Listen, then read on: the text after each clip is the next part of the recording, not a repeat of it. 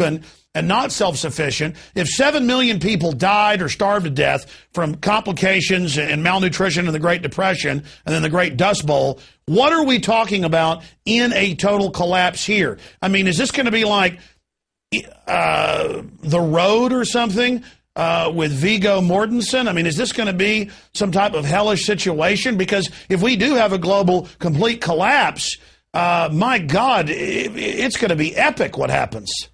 It's the beginning of the first great war of the 21st century. It's already happening. And what they do, for instance, you go over when it happened over in the Middle East, what did they say in Egypt? Well, you know, it's Islamo fascists. And the same thing in Bahrain. And then when it happens in the UK, they call it hooligans. And it's going to happen in the US, and they're going to say, oh, it's those Tea Partiers. And when it happens over in Greece, they call it the anarchists. The war is underway. It's class warfare. It's off with their heads 2.0. It's going to be a battle between the, the haves and the have nots and only a very few have everything, and way too many have much too little. Gerald Celente, thank you. Uh, you know, the great uh, thing about our TV show is that it's always 30 minutes, but when we need to, we can go longer here at InfoWarsNews.com and uh, the new uh, weeknight transmission. And we really appreciate your tireless work. Now more than ever, Alternative media is becoming the mainstream media. That's why we're hearing about internet kill switches. That's why we're hearing about shutting down people for their speech.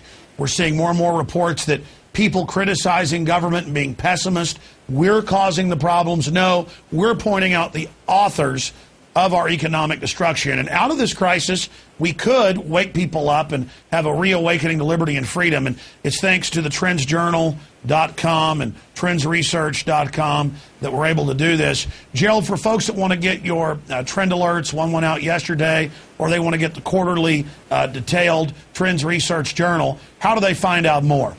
Trendsjournal.com, trendsjournal.com. And Alex, we know people are having a difficult time. We have a discount request page there. Just fill it out. We'll do our very best to get it to you because the purpose of the Trends Journal is twofold to inspire people so that they could take their future into their own hands and also prepare them for what comes ahead. And I thank you for what you're doing, but I have to correct you. You're not all, you're not alternative media. You're the mainstream media. The other one's alternatives. The alternative for losers that want to keep staying lost. ABC, CBS, NBC, the houses of prostitution. Well, more and more we are becoming the new media, the dominant media, and that's why the system is panicking. And you're absolutely right. I, I think one of the last dominoes to fall is that we don't realize we are the majority, but all the numbers, all the research, all the polls, 85% of Americans want to abolish uh, the Fed or at least audit it. Uh, people are really waking up, and that's why that's why the system is trying to set up this police state.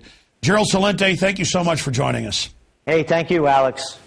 All right, folks, there goes Gerald Celente. Be sure and check out his websites at trendsjournal.com and trendsresearch.com. Our websites, of course, are infowars.com, prisonplanet.tv, and prisonplanet.com. We're fighting the creation of a prison planet run by modern 21st century uh, oligarchs trying to put us on the global plantation with the info war.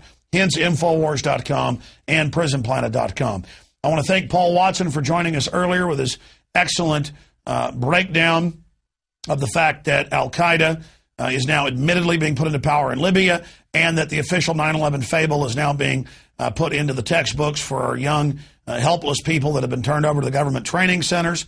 I want to thank the crew and everyone that makes InfoWars nightly news possible. And we'll see you back unless the wildfires get to us here, and they're pretty close. Uh, Lord willing, tomorrow night, Wednesday evening, 7 p.m. Central, and of course with Alex Jones Live. That's the radio slash TV show from 11 a.m. to 2 p.m. Central every single weekday as well. I'm Alex Jones signing off from the front lines of the info war. We'll see you back tomorrow live.